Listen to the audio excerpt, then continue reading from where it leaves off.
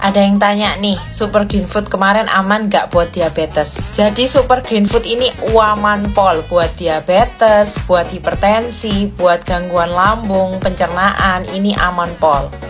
Nih buat yang nggak percaya, ada tulisannya suplemen bagi penderita mah, gangguan pencernaan, diabetes mellitus, stroke, jantung, mata, anemia, obesitas, dan lain sebagainya itulah guys, dibaca sendiri ya.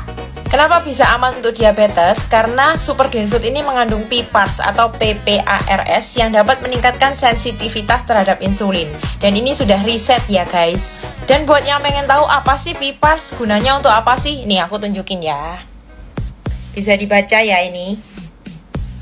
Fungsinya sebanyak ini guys. Super Green Food ini mempunyai nutrisi yang lengkap. Jadi kalau ada yang tanya, bisa nggak untuk ibu hamil? Sangat bisa dan sangat cocok karena bisa untuk menguatkan janin dan ibu hamil membutuhkan banyak nutrisi sehingga super green food ini bisa memenuhi nutrisi ibu hamil. Terus ada yang tanya lagi, buat anak kecil bisa nggak? Bisa banget, buat bayi pun bisa dicampur dengan susu atau dengan makanan. Kalau untuk anak umur 4-12 tahun bisa minum 3 tablet aja per hari.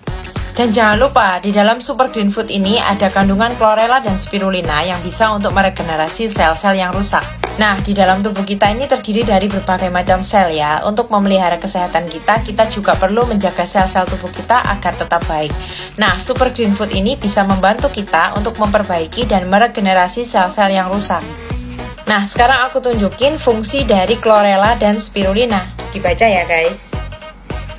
Sekian informasi tentang Super Green Food, semoga bermanfaat. Kalau masih ada yang mau ditanyakan, segera chat, klik link di bio ya. Jangan lupa minum vitamin dan sehat selalu.